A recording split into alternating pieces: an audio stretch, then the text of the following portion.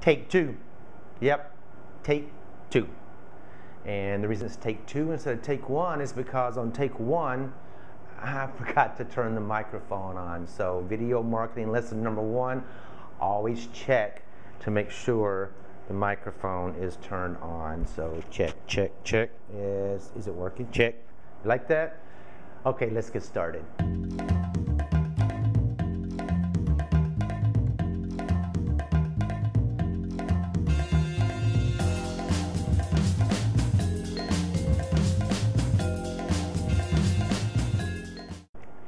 So hi, my name is Jerry Williamson. I'm with Bishop's Flowers and Designs by Jerry. And what we're going to talk about today is how do we distress clay pots to make them look like you just walked out into a garden and picked them up after they've been laying there for a year or two. Usually what you want to do is you want to take the clay pots and you want to distress them in a fashion that they kind of blend in with the rest of your wreath or the rest of the stuff that you're working on. So we're going to show you a couple of different methods today. Now there are many different ways to do this and I'll probably make videos on up in different times that's going to show you other ways to do it but I'm just going to pick two different ways today that I really like using and something I think you're going to really find interesting that we all can do. So first thing I want to do is we're going to take some varieties of different acrylic paints and basically what we want to do is, as I said, we're going to be trying to recreate nature. So recreate what you see out laying around in your garden and basically we want it to look like mold, moss, and just old growth basically. So you want to get those types of colors. So let's just test with these different colors here. Seems like my paint does not want to cooperate today. And you can take all different colors that you want, but I usually tend to try to stay with these natural colors.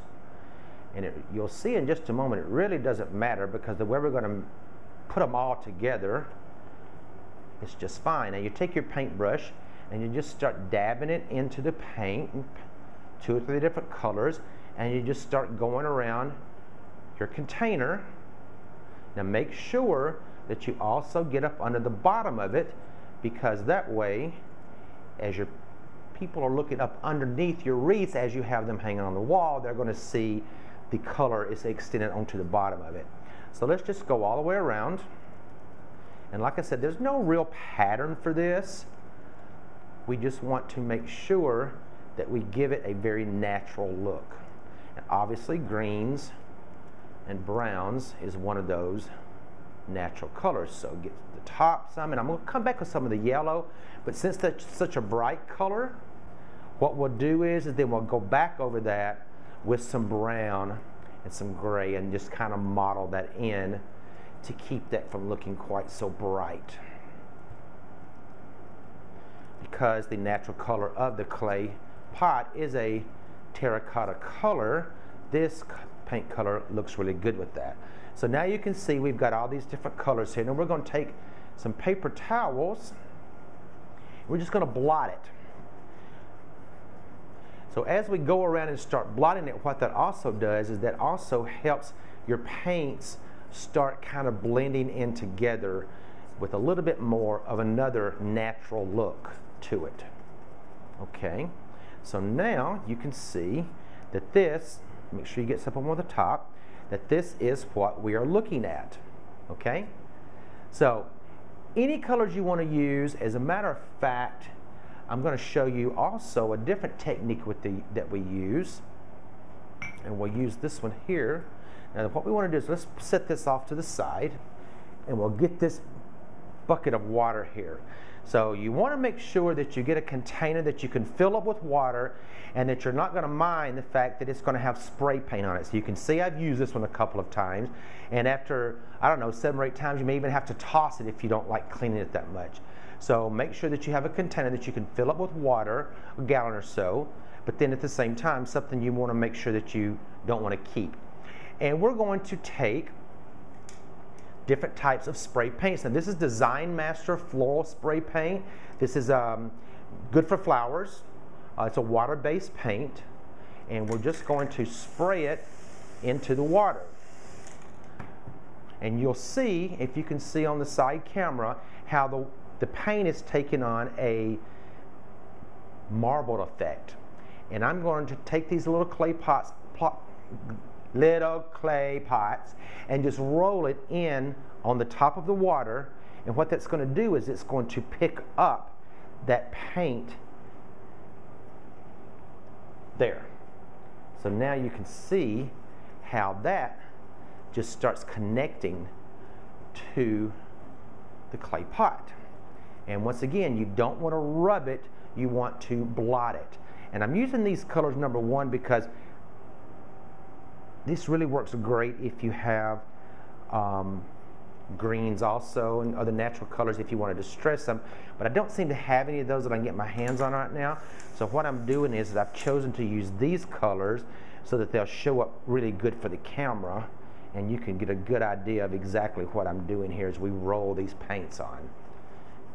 Now this is really good if you're doing a wreath for a young lady who loves all these bright colors, then she will love her clay pots. Instead of them being distressed, she will love having them colored to match her flowers. So you can do all kinds of bright colors.